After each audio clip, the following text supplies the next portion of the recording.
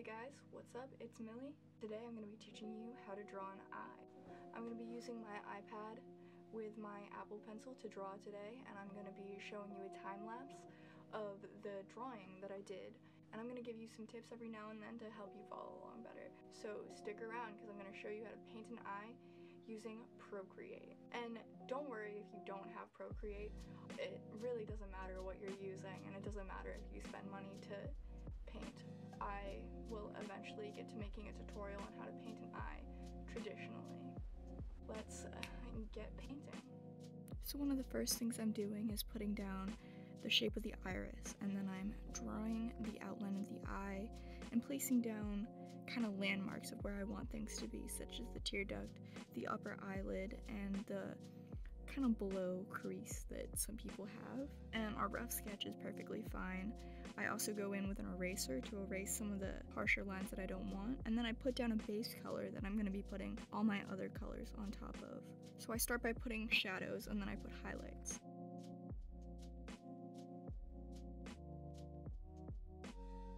And as you can see right there, I put a transparency mask on my outlines and I turned them brown and green to match more with the painting and the iris. I also merged the two layers together so I could draw over them. And I suggest that you make a duplicate of the sketch layer and then merge one of the layers just in case you make a mistake.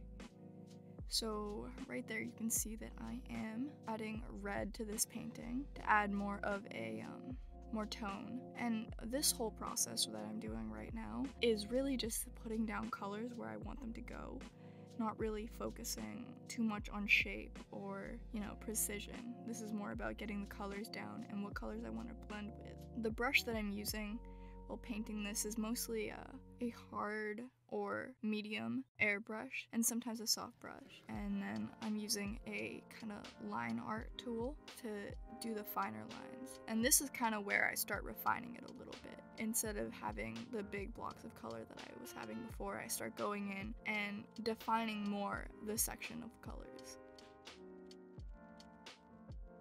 Anytime that you're not happy with an eye color or any color in general, just remember that it's probably not going to be the final color.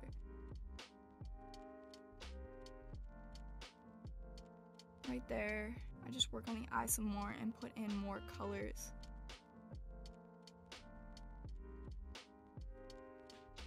It's very important to add highlights to your art because it helps add more contrast to your artwork. So you can see around the corners of eyes and on the eyelid and right underneath the crease is where it seems to have the most highlight. I'm also adding a shadow above the upper lid to kind of make it seem like it curves down, like rolls underneath, so the lid kind of has depth instead of just kind of stopping where the eye starts.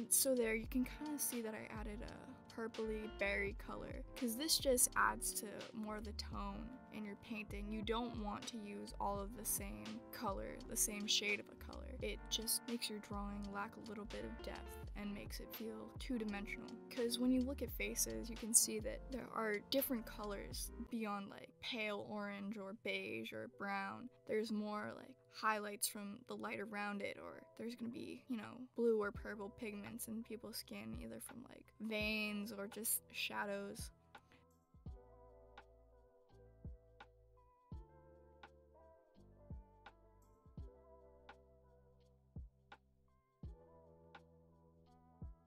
So here you can see I add more of a red tone. Like I said, I was adding more color to add more tone. When you want to add shadows, you're not just going to want to make it a darker version of the color that you're already using. So if you're using a yellowish color as your highlight, you're going to want to use a darker red as your um, shadow to kind of make it seem more alive, more full, instead of very flat.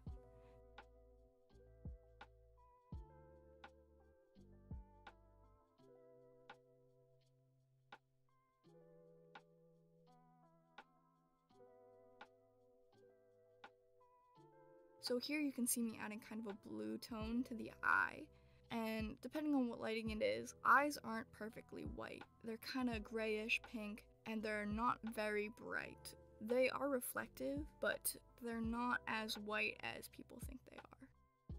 So here you can see me going in with like a detail brush, uh, kind of an edge control brush, you could say, and it kind of keeps the edges and then tapers off and creates a gradient of color on the other side. And I get really detailed with this brush and I go in and then I kind of blend it in to add more texture to the drawing. So I add little lines and then I blend it in and I add more lines and I blend that in.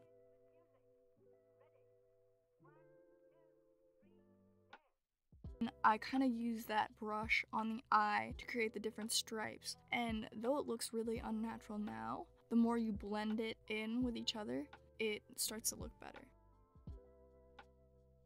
I'm using that brush everywhere, that same brush that I, I think I use like a total of three brushes over this entire drawing. So I don't use a lot. I, I kind of keep it simple. You don't need a lot of diverse brushes. You just need a good smudge tool and a few select brushes that are really good for whatever drawing that you're trying to do. Don't need to go crazy. So now I'm implementing the highlights, and this is creating a nice shadow everywhere, a nice contrast in the eye. It kind of like pops out more instead of feeling like a flat image.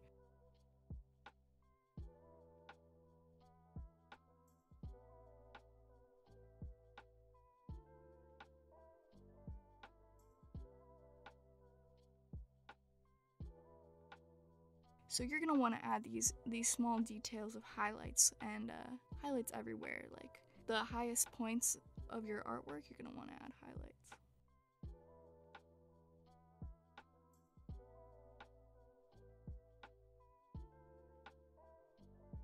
I'm working on the eye a little bit more, the iris, adding more color,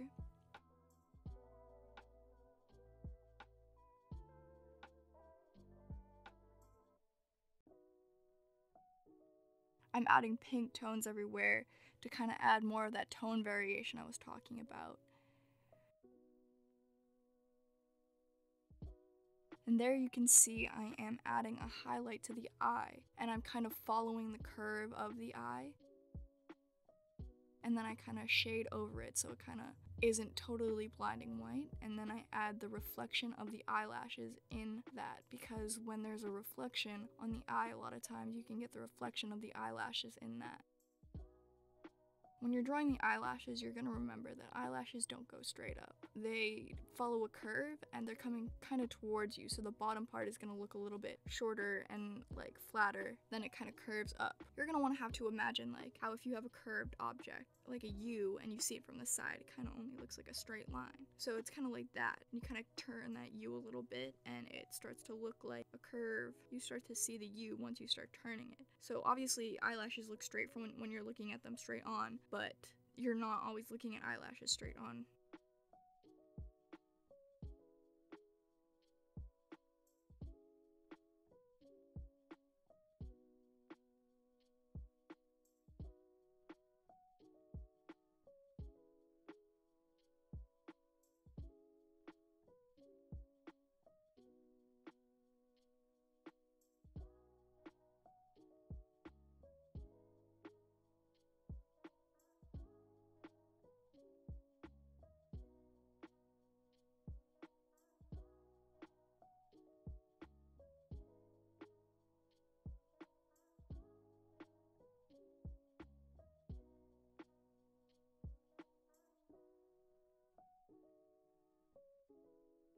Here you can see me adding veins to the eye. And so what I did is I put it in a blend layer and I just used a pink brush to kind of add the veins underneath and I blended it in with that layer.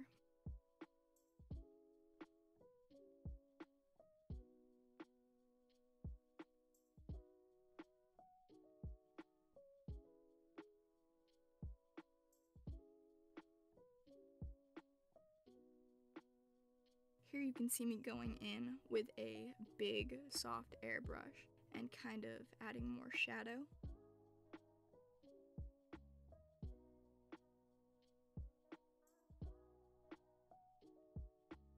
It's very important to add contrast to like all parts of the drawing, adding more shadow and adding more highlight to kind of make your drawing feel more three-dimensional. Having a big bunch of like flat colors is good for certain styles, but if you're trying to go for realistic, you're going to want to have to have that that contrast, being able to tell that something has depth cuz the goal is to not make your drawing look flat, like it could be real. So basically at the end of this video, all I'm doing is uh, minor details everywhere. I go in and I add more lashes, I make it look fuller looking. And at this point, you just want to tweak the drawing to make it look more how you want. It's never going to look perfect to anybody, but tweaking it is good.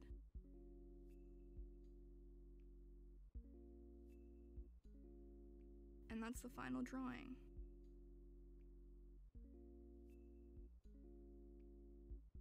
That's the video. Thank you for dropping by. I really appreciate if you made it this far. And I really hope that I taught you something and you've learned something new. And maybe you'll be able to draw that eye that you've always wanted to draw. If you end up liking this video or think it's useful, don't be shy to subscribe. There's gonna be plenty of more content on learning how to draw, as well as tons of other stuff. And I think it's gonna be a great little family that I got going on here and I would be more than happy if you joined me. So I'm just saying, we're gonna have a lot of fun on the art channel.